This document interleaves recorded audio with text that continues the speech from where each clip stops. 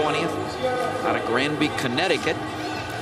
Going up against Eric Montoya, 12th ranked wrestler in the nation. Same record. The junior out of Albuquerque, New Mexico. Montoya there with the uh, double-digit ranking, but people think that he might be a little tougher than that, be able to go ahead and climb the ladder and be on that podium, be in the top eight, become an All-American. Won both his matches, Eric Montoya, last weekend against Illinois and North Carolina State. Lost a close match to Cory Clark from Iowa 2-0. Yeah, he's been in some matches against some some of the best guys in the country. He's been able to slow the matches down here coming off of his knees. And difficult to score on. He's always been a real strong wrestler out there. Again, as you see, it's real difficult to get through Montoya's head-hands defense.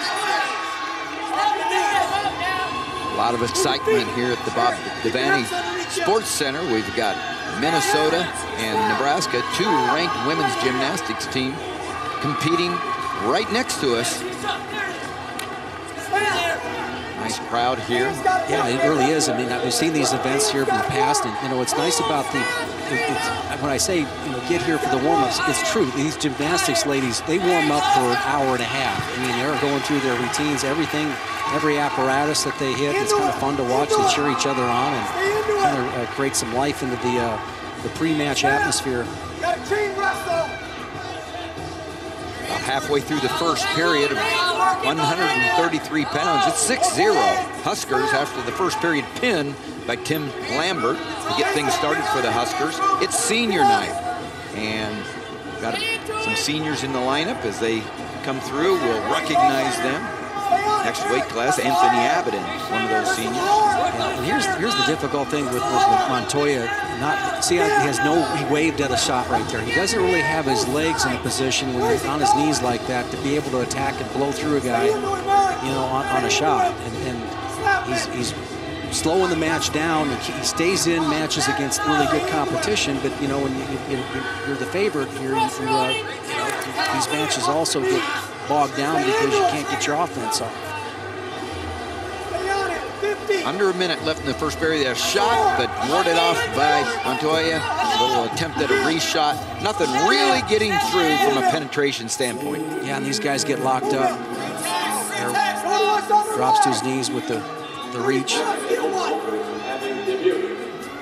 A swing single there, a little counter attack there by Malone. Montoya from Nebraska, a two-time NCAA qualifier. Right there, you know, with the new rules, you, you work a guy, maybe take a shot, maybe get a call. There's not been much action for the officials to really call, just kind of a bunch of half shots by two guys, and we move on. And that's the end of the first period. We're taking a look at Malone, Dominique Malone, the Coyote Logistics No Excuses Impact Wrestler of the meet. And it's not only because he has a good record there, 19 and 6, and has had a great career at Northwestern, but it's because of his leadership in the room, his leadership of the team, and his work ethic and leadership in the room. The Coyote Logistics, no excuses, impact wrestler of the meet, Dominique Malone.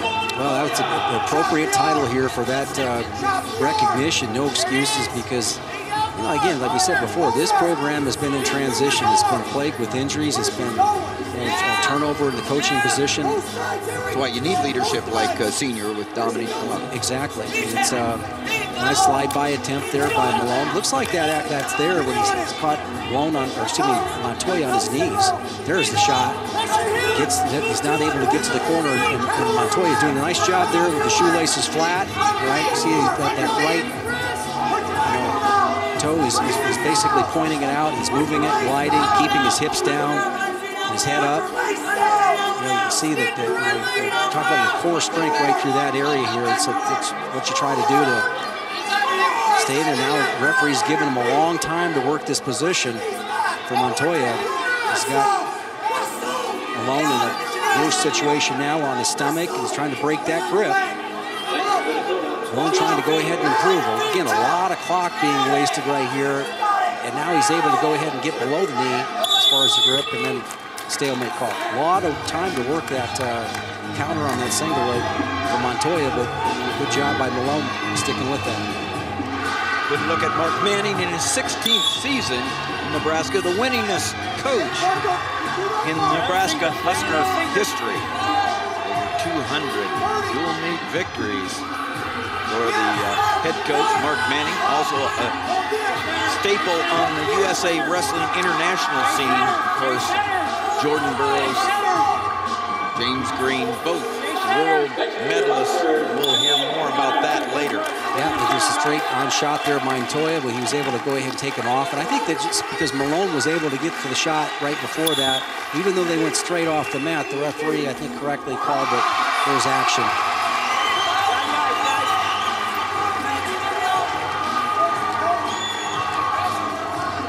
End of the second period coming here. And we'll go to the third period and now. He'll choose down to begin the third period, trailing 1-0. He'll have his opportunity to tie it up or go ahead. Are you set, Green? Cover, Red. Montoya, you know, good solid rider, and the fact that uh, oh, there's a caution. First caution on Green. First caution, get a couple of cautions if you jump the gun before you're assessed a penalty point. On the third caution Green, against one individual wrestler, it's a penalty point. Red, set. Intagliata, the head official on the mat, accompanied by Doug Hoops, his assistant official. Crossbody ride and a little roll through attempt there. The official was right there to call the uh, one count. But in that action there, Malone got a little spread out. He's trying to work his way back up. Watch for that left leg coming in. It just came in.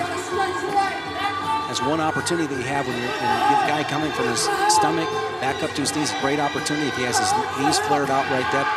Take advantage of the pocket on the left side and put the leg in. Montoya smothering him on top, doing a nice job with the ride, as you said, Jim, trying to get that left leg in. But this time, Malone catches his leg before it gets in, Yeah. out in front. Steel red. Steel red. He's got to come to his feet because we saw it before. Now he gets the escape, so riding time will not be a factor at this point in the match. One point escape. It's one to one. We're in the third period. A minute left in regulation. If it tie, if it's tied one to one at the end of this period, we'll go to sudden victory. There's a shot and penetration by Montoya. He's got the bottom leg hooked him. Uh, he's just got to go ahead and push off with that left hand. All right, kind of clear his head. How he's going to push off with the left hand on the knee. He's going to get the two right there.